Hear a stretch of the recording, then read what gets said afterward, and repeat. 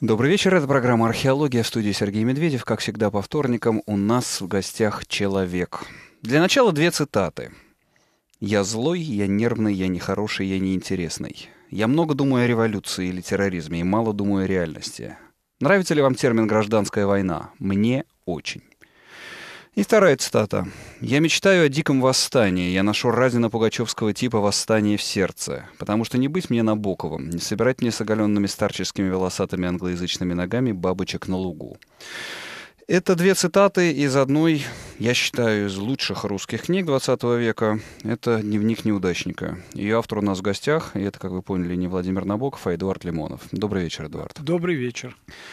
Ну вот я, собственно, э, этими двумя цитатами хотел задать э, такой некий, дать камертон э, нашей беседе, потому что собственно, думая о, о вас, о вашей деятельности и поэтической, и э, прозаической, и публицистической, и политической, конечно, первое, первое что, о чем слово, которое я думаю, это революционер. И вот тут, собственно, в этих цитатах как-то вот этот вот революционный драйв, революционный порыв заложен. Вы себя чувствуете революционером? Революционер — это тот, кто совершил революцию. Ну, почему? Может, замыслил? Ну, замыслил не считается. А в искусстве вы не совершали революцию? Пожалуй, совершил и даже несколько. Что вы считаете? Когда стали выходить мои первые книги на, на Западе, то критики писали э, вот такое. Э, он пришел и смахнул викторианскую паутину с русской литературы. Вот, например, мне очень всегда нравилась эта критика, это из Wall Street Journal. Э, по-моему, ну, как дикого времени уже. Это об Эдичке было написано? Это было написано о моих первых книгах. Речь шла, да, это я Эдичка, и, и вот об этой книге «Дневник неудачника». Именно так. Ну, я, я думаю, что я действительно избавил русскую литературу от э, э, викторианской паутины – у нас это была столетняя паутина, с XIX века ее никто не чистил. Выступил в роли этакого там Селина, который в свое время во французской э, литературе совершил революцию в 30-е годы. Или Жене чуть позже. Жене, э, э, да, но я думаю, в меньшей степени, чем Селин. Он, он он, он при, принес необычные табуированные сюжеты в, но Селин больше необычных и табуированных сюжетов, и, и лексику, и ритмику, и такой взгляд э, калеки-инвалида пер, Первой мировой войны, такого веч, э, пессимиста, но еще такого поливающего власть. Вот он многое он принес простой, простой язык французскую револю, э, литературу. Вы с самого начала осознавали это как свою некую поэтическую сверхзадачу, такое революционное, или просто писали, как писалось по наитию сердца? Не, я полагаю, это все дело темперамента. Темперамент очень много значит в литературе. Это, пожалуй, главное, это мотор. Когда вы осознали ваш темперамент? Вот, пожалуй, когда стал писать прозу, перешел от стихов к прозе, и вот тогда почему-то почувствовал свой темперамент. А до этого, э, ну, он проглядывал, но не, не было так понятно. А ваш поэтический литературный темперамент как-то связан с вашим, а, не знаю, ну, жизненным кредо, с тем, как вы видели свою... Ну, вот, к примеру, вот я читаю вашу биографию, вижу, что в 63-м году, так сказать, из глубин рабочего класса вы уже участвовали в забастовке какой-то. Ну, мы никогда не... В то время никто не надувался и не говорил себя, мы бастуем. Мы просто выходили на работу и не работали три дня подряд, поскольку нам катастрофически срезали расценки, то есть где-то на одну третью. А, а мы и шли на эту тяжелую работу для того, чтобы зарабатывать деньги. Они, и поэтому ну, собственно, для как... каждого это была целая трагедия. Поэтому мы просто пришли, отказывались работать, к нам приезжали всякие чины, даже, по-моему, чуть ли на, почему-то не э, командующий военным округом, не помню зачем, но точно он у нас был, запугивали, а потом все-таки вот решили обмануть и раздали нам э, эти э, за месяц, как они называются, лист, листы, да, вот, mm. раздали Э, и там было ничтожно меньше денег. Ну и мы согласились возобновить работу, обманули. А потом э, в течение шести месяцев все отламывали, отламывали от нашей зарплаты. И в конце концов на то же и ушло. Ну, постепенно люди все равно уволились. Начало напоминает историю в Новочеркасске. Там, собственно, почти то же самое начиналось. Да, но у нас было, знаете, это литейный цех. У нас была бригада 20, из 28 человек, цех точного литья, э, комплексная бригада столеваров. И мы оказались звеном в такой очень, э, очень важной цепи, потому что мы изготавливали, отливали коленчатые валы для э, двигателей. А двигатели официально они э, якобы были двигателями для тракторов, а на самом деле они делали какие-то двигатели для а, э, для соседнего с нашим танкового завода имени Малышева. Поэтому э, нас расстреливать никто не, не взялся, и, собственно, мы ничего такого и не, и не делали. Мы просто требовали своих денег и решили, что, наверное, разгонять нас дороже будет, а то и, и не надо. Ваш, а, Последствий а... никаких не было у нас, никаких, ровным счетом, никого не уволили, мы потом сами уволились. Ваша рабочая молодость, она для вас важна? Это была какая-то такая рабочая закалка? Которую... Важна очень. Я как приехал в Харьков уже где-то э, значит, мать еще была жива, да, это значит, э, вот совсем э, в 2007, что ли, году. И я пошел, э, и ломали мой, мой завод. И я со стакана видел, э, как его огромный железный экскаватор раскачивал какую-то такую железную болванку, ударял в стены завода, и э, они рушились. И я, ну, я не сентиментальный человек, но я как-то это слезу уронил, потому что был огромный завод «Серп и молот». Правда, там рядом Харьков вообще очень город – огромных заводов. И э, тракторный завод, э, там было более 100 тысяч рабочих, представляете? На нашем серп молоте было поменьше, но все равно трамвай шел мимо нашего завода, три остановки вдоль забора. Это можете себе представить? Это кое-что. Там было черт знает сколько проходных. И вот самое центральное. А продали э, территорию вьетнамцам, и они там рынок, э, они уже строили там в других концах этого завода. Вот этот последний как бы корпус.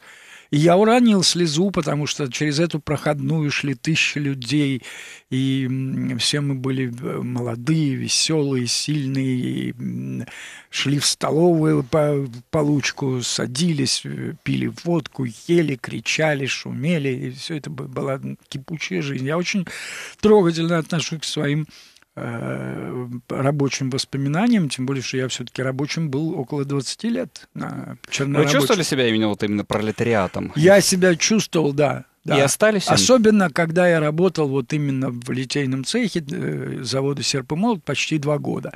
Я вообще работал на многих э, харьковских заводах.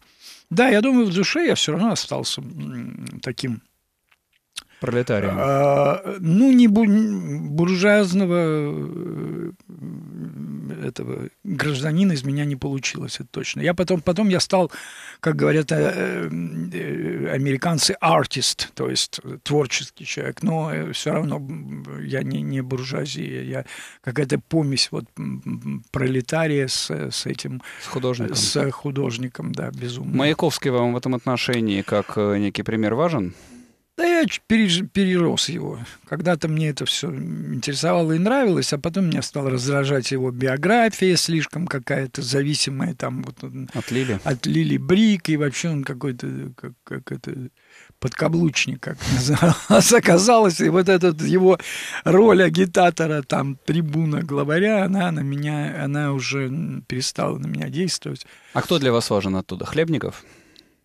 Хлебников, да, был святой и, и действительно очень важный поэт, настоящий гений 20 века. И если наш гений 19 века Пушкин там награжден всеми возможными наградами, имеет все, что можно, то Хлебникова так и не приняли до конца. Его э, э, заменили какие-то более мелкие эрзац э, поэты.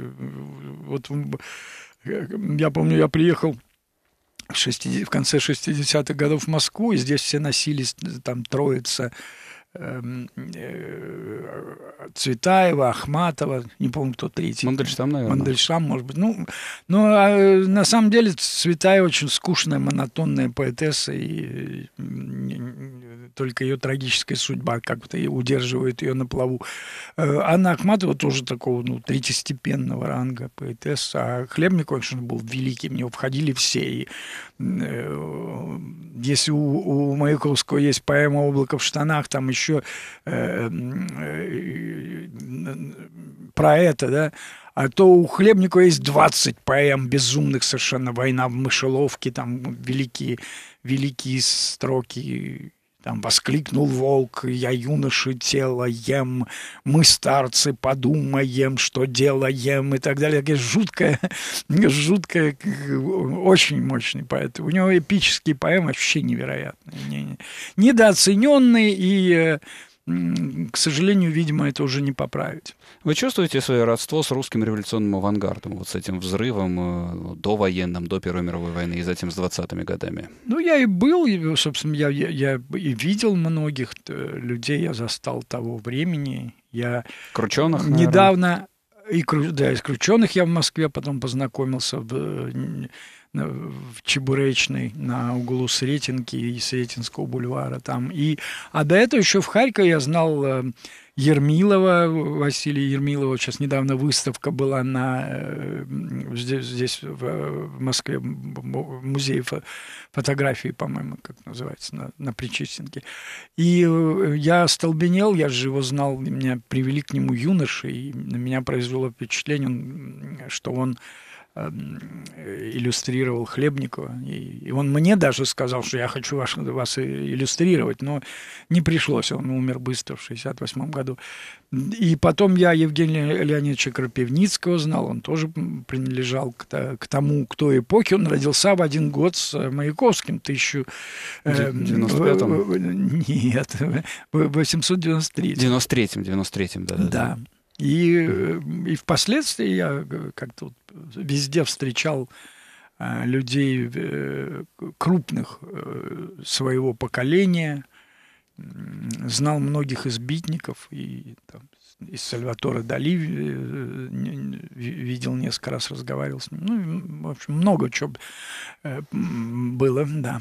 Ваш псевдоним Лимонов, он э, в какой-то степени тоже такой? Это Бахчинян придумал, да? Да, нет, это все теперь говорят. Это была литературная игра, и давным-давно никто этому не, не придавал никакого значения. Просто есть вещи, которые прилипают, знаете, как клички к человеку. Вот они прилипли, а кому-то не прилипают их клички, а ко мне вот прилипло. У нас это в Харькове была литературная игра, все себе давали, избирали такие э, псевдонимы. Один был Буханкин, другой Одеялов, я вот был Лимонов. Ко мне ну, приросло, а где Буханкин и Одеялов, никто ну, не знает. Буханкина у вас не вижу, но мне кажется, что не человек выбирает имя, а имя выбирает человек. Возможно.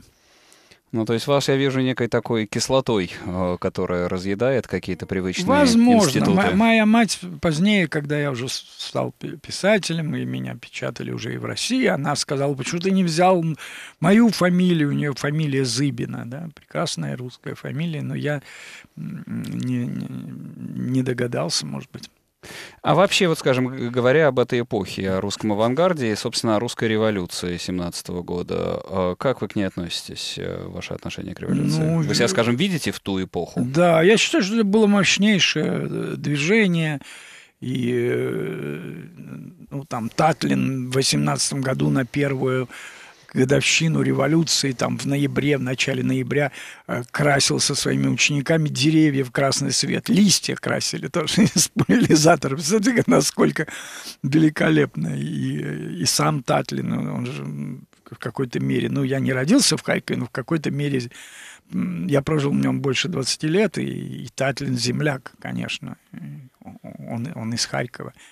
А кем вы себя видите, если бы довелось родиться на 50 лет раньше, вот э, в русской революции?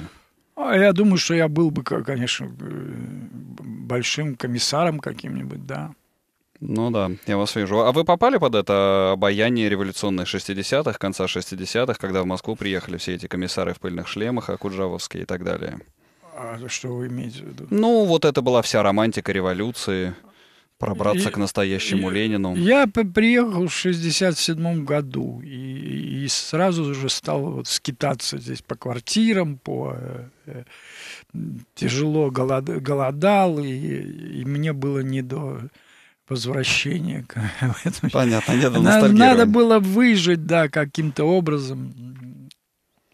Хорошо, а в дальнейшем на Западе, когда уже э, в каком, в 74-м году? Да, я, да, у меня удивительное совпадение бывает в моей биографии. Я приехал в Москву 30 сентября 1967 года, простите, и уехал из Москвы, улетел 30 сентября 1974 года, ровно через 7 э, лет. Да, день что, в день. Так что совпало, да, совпало. Что-то библейское. Ну, фактически вас выдавили, вам вас поставили перед выбором, да, либо... Там была сложная история, как э, потом выяснилось, даже связанная не столько с, со мной, а как э, с Э, родственниками, с сестрой моей жены э, Елены Щаповой того времени. Ну, я воздержусь от деталей, я просто скажу, что да, нас там, меня э, несколько раз задерживали, грозили посадить, вызывали на допросы на улицу Дзержинская, 2, и э, в конце концов предложили, либо вы уезжаете, либо мы, мы тебя посадим. Но вы просто, как я понимаю, попали под какое-то колесо, вы же сознательно не противостояли системе. Ну, это как сказать, знаете, среди моих друзей в Москве были разные люди. Вот даже были, были например, такие, как э, потомственный революционер Владимир Гершуни. Да. Я, я очень... СР. Да, СССР был, был его дедушка, а, но он тоже... Ну, в смысле, да, был, внук, внук СССР, да. Да, да. Ну, и он потом ведь сидел во всех возможных тюрьмах э, много лет, и вообще был ну, блистательный в своем роде человек, э, могучий, сильный. Но вы чувствовали некое противостояние системе? В тот, в тот момент? Меня, как э, человека э, еще совсем молодого и увлеченного э, искусством, больше, конечно, интересовала вот культурная политика власти. Я был практически совершенно согласен со внешней политикой Советского Союза, а вот, вот эта культурная политика, предпочитавшая политкорректную бездарность э, талантливым людям, а для меня это было насущно, насущная проблема, которую я решал каждый день. Я чувствовал, что я очень талантлив, куда выше с э, моими стихами того времени, рассказами того времени, чем уровень той литературы, которая здесь поощрялась. я, конечно, ну, как бы своя рубашка ближе к телу. Я прежде всего относился к, с отвращением к культурной политике. А с Гершуни одно время мы даже жили в, одном, э, в одной квартире, и он, он там ночами, квартира находилась на Уланском переулке, в, на первом этаже э, старой школы. И э, сын бывшего директора этой школы нам оставил эту квартиру. Он приходил ночью, там, проходил по крыше гаража там и влезал в окно. И все его все карманы у него были переполнены, а, э, знаете, э, на папирос, на такой тонкой бумаге отпечатанными Э, там, круги первом, все это, э, мои Слов, показания, да. Марченко, да, и, я, и мы с ним спорили ночами, я, я, он пытался меня в свою веру э, так, это, обратить, переобуть, а я, а я сопротивлялся и не, хотел, потому что... Вы так и не переобулись в ту веру? В тот момент вы не понимали, скажем, обреченности СССР, э, я не, неправедности? Ну, на самом деле никакой обреченности, я абсолютно уверен, не было. Была была проблема элиты, которая безнадежно состарилась и не могла ничем, никем адекватным заменить. Вот. Э, я, я не считаю, что э, вот это самоубийство СССР было неизбежным. Я считаю, что это следствие вот действительно бездарной политики, такого герметизма, когда в, э, в элиту не допускались люди извне. И это, конечно, неизбежно вело. Вот сейчас нечто подобное уже начинает происходить, потому что в нашу элиту, у нас э, общество застыло в такую кастовую систему. Все, у, нас, у нас есть касты, которые неразбиваемые. Ну, сейчас это еще не так очевидно, ущербность этого, э, этой системы. Но я думаю, она будет очевидно буквально через несколько лет, там, пять. Ну да, она, очевидно, станет, видимо, при первых э, таких внешних системных Потому ударах. Что, когда свежая, кровь, свежая кровь не поступает, и э, это вот, вот результат. Видите? А есть ей откуда поступить? Вот я очень хотел с вами о чем поговорить, собственно говоря, о пассионарности. Я не знаю, если вы пользуетесь, не пользуетесь этими всеми гумилевскими терминами, что в русской нации упала пассионарность. Вот вас я вижу эту пассионарность. Может быть, в тех людях, которые вас окружают, но вы как как-то создали вот такую вот нишу, но глядя на политический ландшафт последних 20 лет, собственно, даже на эволюции нашей литературы, и нашей музыки, нашей культуры, я не вижу никаких признаков вот такой вот революционной пассионарности, которая могла бы спасти Россию.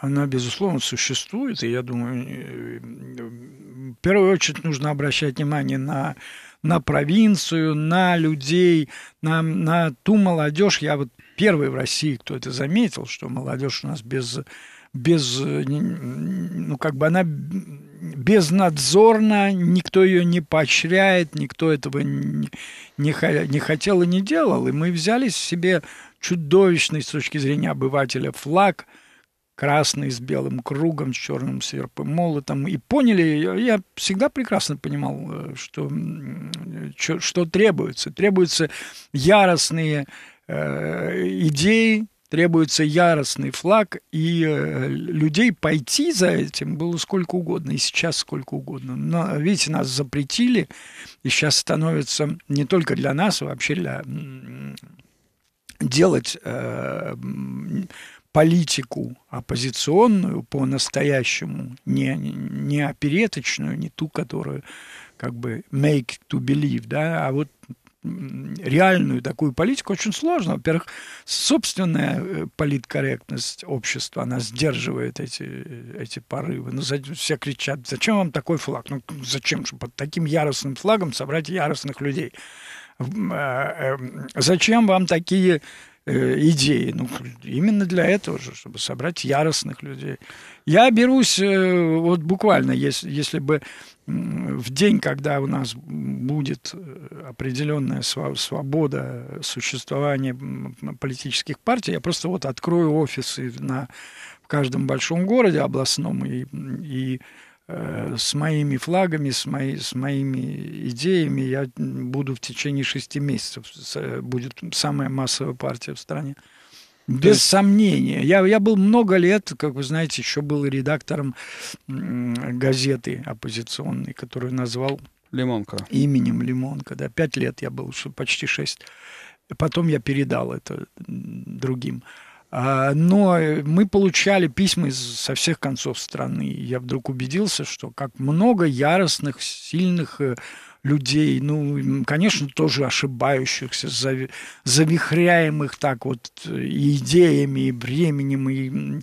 но их не, необыкновенно много, это сильный такой сквозняк ветрила дующий. Кро крови... Просто, просто, видите, э, когда власть стала имитировать вот то, что я делал, да, когда... Э, Имеете в виду с молодежными движениями? Господин Сурков, да, когда в 2005 году стал создавать движение «Наши» и прочее, прочее, но они создали все-таки ручное движение, там не было этого сквозняка, там нельзя было делать то-то, то-то, то-то. У нас было делать все можно. Мы выпускали газету с такими, значит, на грани фола лозунгами. У нас были вертикальные лозунги там. На выборы 96 -го года там лозунг. Россия опять дала э, Ельцину. А на следующей странице фотографии там Зюганову, а этому не дала. Ну и так далее. Мы, мы, э, на первой странице там огромная фотография кослявой старухи жуткой, совершенно голой, стоящей на койке и писали, вот, э, вот Россия там что-то, э, это Россия, она говорит то-то, то-то. Потом мы публиковали семью Черномырдина, все толстые морды, все сидят, там их семейная фотография.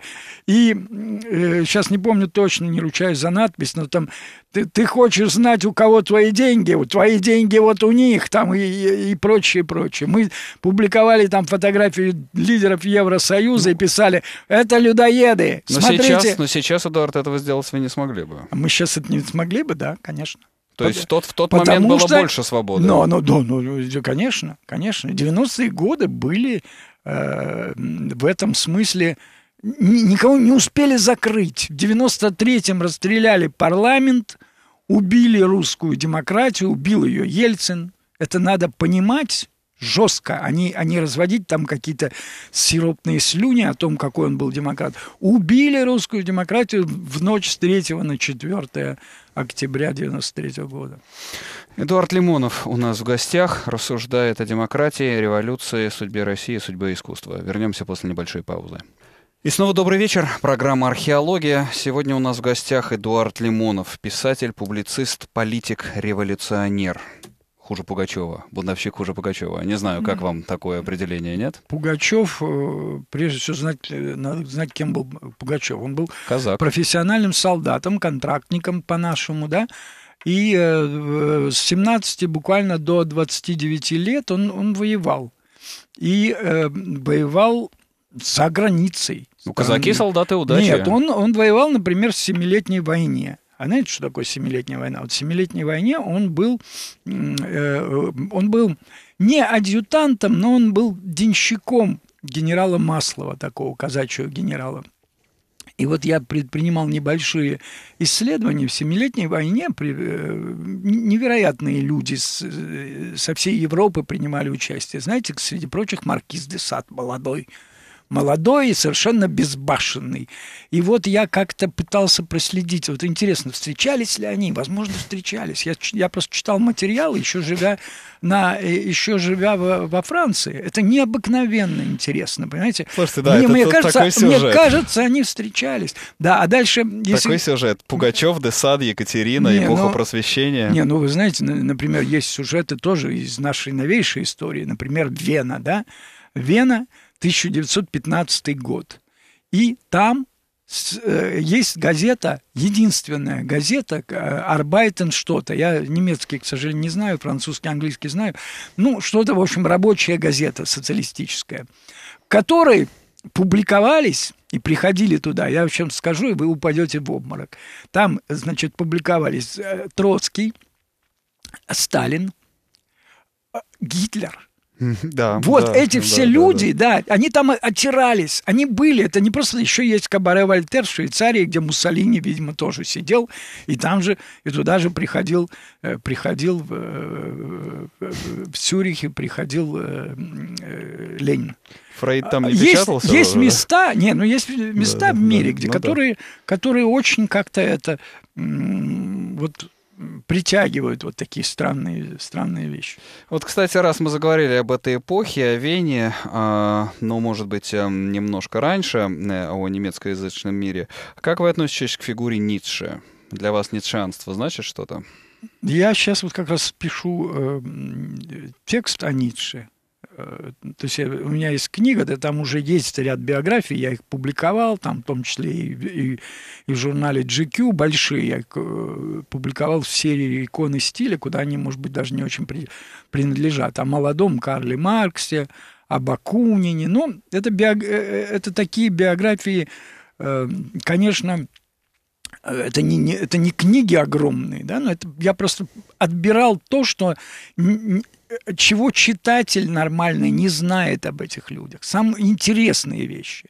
о том, как, э, вот, например, у Маркса конфисковали, значит, его э, описали имущество, у него там колыбельку дочери даже описали, которая через два года умерла. Там такие есть очень э, бросающиеся в глаза интересные вещи. Есть репутация Бакунина, считается, что он там участвовал в 11 революциях. И я прожил всю свою жизнь где-то э, до 60 с лишним лет и не, и не, не знал, что на самом деле нет, он не, все-таки не участвует. Наши историки раздули Дуля. Он все-таки где-то там оказался в дороге, приехал, и там революция уже кончилась, а здесь он был там вообще на каких-то пятых ролях. Там, что не умаляет его фигуры. Потом, например, интересно об Акунине, что он на самом деле националист скорее. Он анархист в последнюю очередь. Он просто был одним из э, идеологов панславизма и как таковой mm-hmm. всю свою собственно, сознательную жизнь в основном эту идею защищал. Он не был э, и гораздо в меньшей степени он, он был анархистом. Так ну, Ницше. Мы Ницше, Ницше, да, Ницше. Ну вот э, интересное сочетание вот этой Э, абсолютной болезненности, он же был страшно больной весь, разбитый к чертовой матери, робкий человек. Вот есть его воспоминания этой девушки, которую он хотел завоевать, 20-летней в то время Лу Соломе, дочери, дочери э, немецкого фактически генерала на русской службе. Э, и есть воспоминания. Она говорит о нем как о таком робком, пугливом, чрезвычайно интеллигентном человеке, который входил в комнату и сразу же искал кого-нибудь на кого бы опереться хотя бы взглядом. То есть он был очень совершенно... И вот этот человек с идеей сверхчеловека да, появляется с этой с этой идеей. Очень, конечно, невероятно странно. И, и конец такой жутко печальный его, этот как, э, э, человек поедал, э, ну, капра, ну, да. каф, капрофаги, вы знаете, да. это все, да, и, и там не узнавал никого, не мог ничего понять. Но, однако, что... его устами говорил 20 век, по сущности, ведь вот его к идее сверхчеловека и, собственно, ваши вот эти вот, я не знаю, постоянные такие стремления к это... некой войне, к завоеванию, не, знаете, ну, не завоеванию, не, не, а к таким не, вот... Через Ницше проходит дорога от немецких романтиков э, к э, Гитлеру, но она да. начинается даже, знаете, где? Она начинается у Гёте. Впервые термин «сверхчеловек» употреблен у Гёте. Сразу же, по-моему, в первом акте там есть, когда Фауст вызывает духа земли, и потом пугается его говорит, уходи, я... А, дух земли говорит, ты звал меня, сверхчеловек.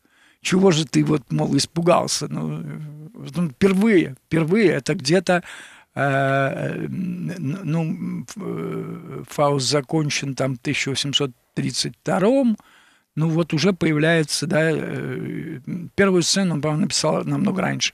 И уже есть, термин есть, а потом появляется Ницше с, со своим сверхчеловеком. А, а, конечно, где-то уже за кулисами так, где-то тень Гитлера проходит он там. Гитлер начинался у немецких романтиков. Это совершенно точно. Это никакого... Ну и, Лен... и Ленин тоже, в общем-то, из Ницше во многом идет. Вы не находите? Ленин... Некое практическое ницшеанство. Нет, нет, Ленин, знаете, с Лениным я вот э, о нем писал несколько раз, и когда сидел в тюрьме, писал, и писал позже. Мне Жизел предлагала в свое время написать его биографию, но я думаю, я не способен на такой, как бы, ну... У меня рождаются такие идеи, которые я Эм, они, они очень потом оказываются верными и оригинальными. Это у меня есть, я думаю, я так считаю, что у меня есть дар э, мгновенного понимания да, того, что как это вот складывается. А э, там детали биографии, ну, в каждой биографии есть очень много э, и такого. И вот. И я вот о Ленине, знаете, я что раскопал? Вот я думаю, я, я единственный, может быть, я не читал, во всяком случае, такой идеи, что он на самом деле уехал он, он уехал в 1900 году, 30 лет э, от роду. После... Э, он находился в заключении где-то два года, по-моему, и меньше меня, кстати, два года, и потом ссылки три года. И он сразу убежал в Европу. Он, знаете, убежал с одной определенной целью. Он считал свой интеллект, э, что у него огромный интеллект, что, что правда, конечно. И он хотел стать, он хотел сменить Маркса, он хотел стать Э, таким гуру мирового социалистического движения. И э, вы заметите, если вы знаете работы Ленина, многие из них посвящены полемике с ныне никому не интересными, там, э, знаете, ну, Бернштейном, да, да, да, там Каутским Каутский, и прочее, да, прочее. Да, да, да. Он, более того, если вы читаете его значит, тома собрания сочинений, там его письма, он постоянно воюет с западными Э, да, теоретиками социализма. Да. да, он, он его интересует, что решили шведские молодые социалисты на своем съезде, что решили в Женеве, что решили тут. Он очень хотел, очень хотел. И Э, э, но ему нужно было представлять кого-то. Он же было лучше представлять. Знаете, как Нечаев в свое время, Нечаев, друг Бакунина, приехал и сказал, что он представляет там целую огромную разветвленную сеть заговорщиков. И э, Ленин решил себе завести партию – они назывались секция искровцев, вы помните. Он ее в основном, это очень смешная была секция, потому что она в основном состояла из родственников Ленина и э, людей вокруг этого. Это не умаляет его значения. Коопер... Он... Кооператив да, озера. Нет, он, значит, он великий человек, он правильно решил. Надо, надо, чтобы была Российская социал-демократическая партия. Же не было. С этой целью, собственно, это все и создавалось. И э, революции в России он никак не ожидал. Он относился с, с, его э, заставила вздрогнуть революция 905 года. Он промедлил, приехал слишком поздно, когда все уже кончалось. Он где-то там какие-то лекции в никому не нужных кружках почитал и уехал разочарованный. Потом решил, что ничего не будет никогда. И его э, действительно ничего не ожидал, его застало врасплох. Это и э, вторая русская революция, и он э, он понял, что в 905 году он опоздал, и надо, надо мчаться в Россию немедленно. И он, интересно, как он пытался перелететь на, через войну на воздушном шаре.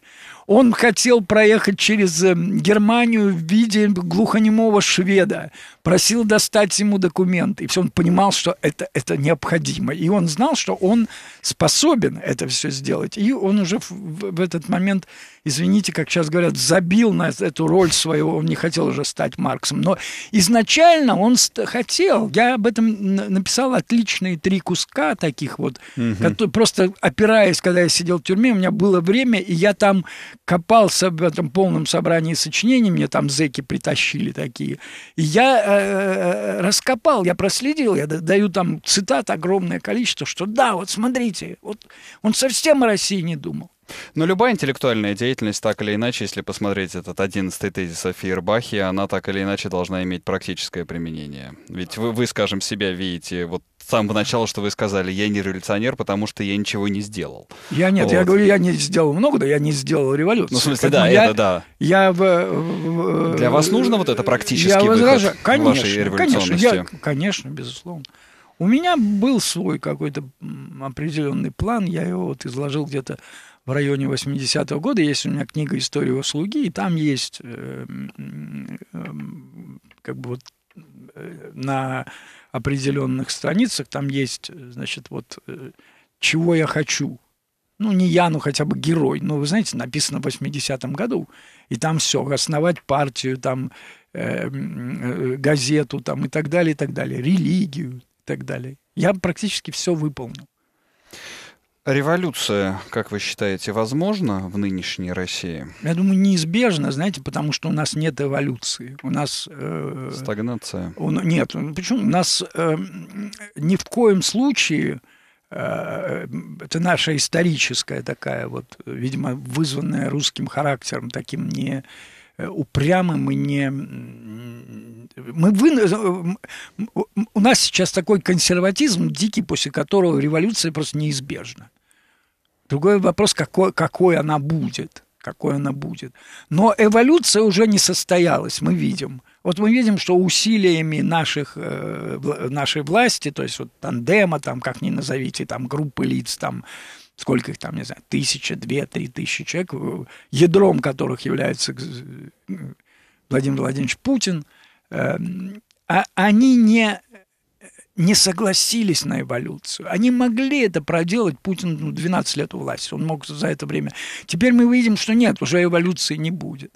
И за это время, вот, которое они будут еще сидеть на, у нас на шее, а я почему так говорю? Потому что на шее не э, абсолютно в самом не в переносном смысле, а в прямом. То есть за это время не развелись какие-то судьбы миллионы людей не состоялись. Опять же, коротко сошлюсь на эту кастовую систему, которая застыла. Да? У нас сын олигарха будет непременно олигархом, а сын э, работяги почти неизбежно будет э, работягой. Ну, такого... средневековое общество. Да, средневековое. И поэтому революция неизбежна, потому что не состоялась эволюция не состоялась. Вот э, определенная группа лиц воспротивилась революции. Может быть, это контрреволюция сейчас идет? Путин это термидор? Ну, если была э, революция, то... Э, а была она, как вы считаете, 91 год был революцией? Б была буржуазная... 90-е вообще. Да, буржуазная революция случилась. Она случилась и, и в экономике, и кадровая буржуазная революция совершилась. Конечно, и э, Владимир Владимирович Путин, и э, Дмитрий Анатольевич Медведев просто представители конкретные буржуазного класса. С опозданием, может быть, на весь 20 век, да? Да, то, что, то, что да. не доделали в 17 Очень году. Очень поздно, даже не то, что на весь 20 век. Вы знаете, все основные буржуазные революции во всех передовых европейских странах совершились уже во второй половине XIX века. Но Россия всегда опаздывает настолько. Россия, да, она, почему она ее называли жандармом Европы, потому что вместе с такой же приблизительно Германией они э, в своем социальном э, развитии отстали от мейнстрима. Хорошо это, плохо, это уже другая история, просто все уже жили по другим стандартам, а они вот продолжали жить по э, вот по этой... Ну да, да, более такие поздние, поздние модернизаторы уже. Ну, Германия с Бисмарком рванула вперед, а мы хотели было в а начале а 20 века, было, да, обломилась. У, у нас не было ни Лютера в религии, ни Бисмарка, ни... Вот Э, однако это не помешало нам, знаете, вот э, оказаться э, первой европейской державой и второй мир по счету, или там первой, одной из двух мировых держав к 1945 году. Ну, вот раз мы так уже заговорили широко о философии истории, вот предположим, что совершилась революция, завершился некий очень крупный цикл, который включает в себя там и 91 и 93 год, и путинское правление. Россия а, станет западной страной? Э, это вот большой вопрос. А, вот как ваше ощущение Моё... Запада? Нет. Вы же критик большой. Нет, ну, ну, Запад находится в своем не, лу... не лучшем состоянии сейчас. На мой взгляд, и вообще вся планета находится не в, э, не в стадии либерализма. Почему? Э, очень просто, потому что истощились э, за, э, вот эти э, запасы на планете, да, истощились, заканчиваются. Вот считается, есть теория, по которой приблизительно все, все закончится к 2030 году. Все, и пресная вода совсем не будет, и запасы там сырья иссякнут, и, может быть, даже и быстрее. Значит, на чем была основана вот и позитивизм, и вообще вся, вся вот эта философия эксплуатации планеты? Это философия эксплуатации планеты. Давайте ее как можно больше. И сама вот система, при которой мы живем, э, западная система, то есть производство потребления, производим и потребляем, она идет к концу, это неименуемо. Сейчас, кажется, якобы вот нам пытаются выдать э, э, за э, просто один из кризисов на самом деле глубокий кризис цивилизации производства потребления. На самом деле то, что сейчас происходит и э, с Европейским Союзом, что, видите, уже она не, не, это не работает. И с этими безумными катастрофами очень, очень неприятными, катастрофа Фукусимы, катастрофа в Мексиканском заливе. Это же нам э, как бы делается вид, что вроде все это все прошло и кончилось. Все началось сначала. Птицы летают, да ничего не летают, птицы угроханы, там э, нефть везде залила все, что, что, что можно. Это, это долгосрочная катастрофа. То же самое с э, Фукусимой. Я помню, я сколько было негодования, я у себя в ЖЖ на следующий день написал, что это катастрофа, катастрофа, что там течение разнесут эти ядерные отходы. Нет, никто со мной не соглашался, а потом вдруг стали повсюду публиковаться сведения о том, что японское правительство скрывает размеры катастрофы. У нас русский человек, он считает, что только его правительство ну, плохое да, и скрывает, да. а все другие просто великолепные, честные, честны. Ну как же, эти японцы, у которых такие великолепные самурайские традиции, там э, и которые и, мастера экибаны, там, кабуки, и все, и вот они скрывают. Конечно, они врут, как и все. Они врут, как, и, как и все, и, и, а, э, планета переживает кризис. Это даже не экологический только кризис. Ну, цивилизационный, цивилизационный самой цивилизации, да, расширение да, потребления. Что нам придется прогресс, если не отменить, то его придется постепенно свер, свертывать. Утопия, мы живем давно в утопии.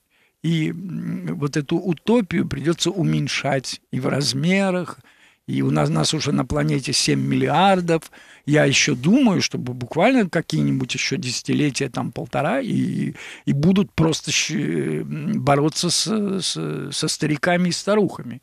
Я, я в свое время написал книгу, не, ну, не очень удачную по форме, но совершенно, по-моему, верную по содержанию. Это пункт 316В, согласно это недалекое будущее, когда Э, когда, значит, людей, достигших там 65 лет, за ними охотились, как бы убирали их. Ну, как это было, да, в самых э, примитивных обществах, да, когда стариков сажают да, на пальму, да, на пальмы людей, и трясут. Людей слишком много. На, на мой взгляд, вообще, вот э, в свое время маленькая Греция дала за какие-то несколько сот имеется в виду Древняя Греция, то, что мы знаем как Древнюю Грецию, она дала за какой-то несколько сот лет э, более 500 гениев миру, 500 гениев. То есть, на самом деле... Много, коли... много людей не надо. Да, много не надо. Я вот даже думаю, что, например, э, на континент по миллиону людей было бы вполне Вы считаете, достаточно. надо сокращаться, меньше детей рожать?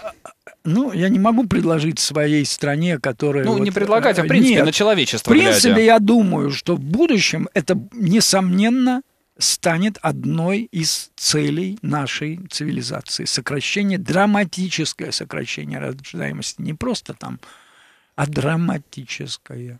Вот этот вот кризис для вас стал понятен, когда вы на Запад приехали. Я вот э, вспоминаю вашу книгу «Дисциплинарный санаторий», да, такая фу -фу да. фукадианская фактически. Я считаю, что книга недооцененная до сих пор. Когда я ее написал, я ее показал всяким французским э, людям. А вы Фуко читали? Э, да, я не, ее, не, это повлияло? Немного. На, на Нет, в то время я не читал Фуко. Но, ну, я, я считаю, Фуко слишком много, он много рассуждает, хотя и интересно. Ну, скорее, скорее интересно, может быть, вот э, там десяткам или сотням таких, как я, и, может быть, вы, я не знаю вас хорошо.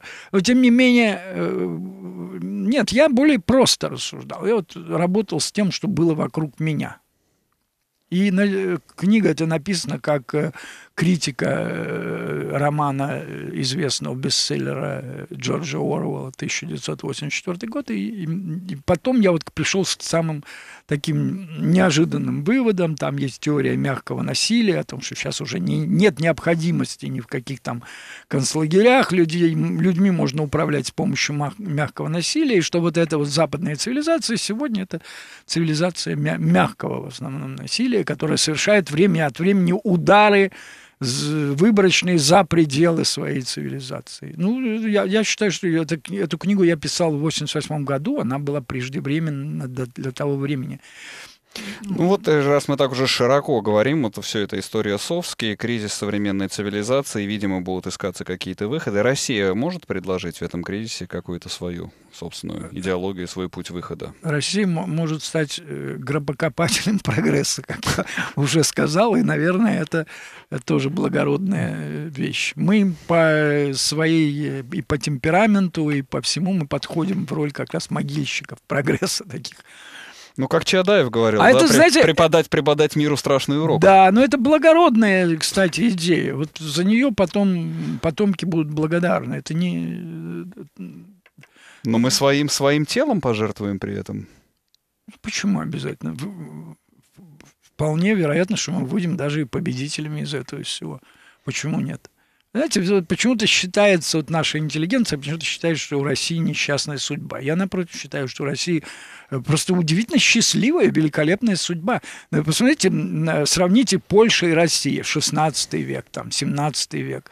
У нас было меньше шансов, чем у какого-то княжества литовского, господи как мы, как мы сумели закрепиться в этом... Между, колы... между Западом да, и степью. В этом да. колыбели, в этой вот нации нашей центральной России, как мы там ну, за сумели... счет каких потерь людских? Ну, за по... счет какой мобилизации? Ну, а что потери, знаете, в, свое время там э, какая-нибудь бубонная чума, там черная смерть, в, пол Европы вымирала зараз, люди потом опять вырастали. Это не цинично, это реальность, то, что я говорю.